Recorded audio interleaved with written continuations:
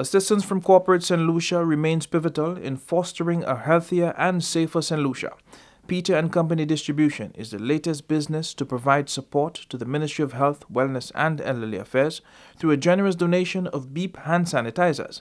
Acting Drug Inspector Astrid Mondesir commended the distribution company for their thoughtful gesture and described it as an evident commitment to public health. In times of unprecedented, unprecedented challenges, partnerships with organizations that prioritize the well-being of our citizens become invaluable. Peter and Company distribution dedication to corporate social responsibility stands as a shining example of how businesses can make a positive impact on our society. Divisional Sales Manager Dudavio James says the donation marks the organization's commitment to the health and well-being of the nation. He says in recognition of the invaluable efforts of the Ministry of Health towards public health promotion and the ongoing battle against constantly mutating viruses, PCD collaborated with the Beep parent company on this venture.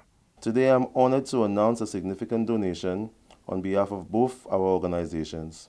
A generous contribution of Beep hand sanitizer to the Ministry of Health, Wellness and Elderly Affairs of St. Lucia. This donation is not merely an act of corporate philanthropy, it is a symbol of our enduring dedication to the health and wellness of the people we serve. If nothing else, the virus has taught us the importance of resilience, adaptability, and collective action. Deputy Permanent Secretary Tessa Inglis expressed profound gratitude on behalf of the Ministry of Health for the gesture. Mrs. Inglis says corporate assistance is welcome as the ministry anticipates further inflation to an already high healthcare bill. As we aim to move towards um, the implementation of well, universal health coverage, where we aim to provide equitable access to affordable services, quality services to the nation, we recognize that the costs are going to climb even higher.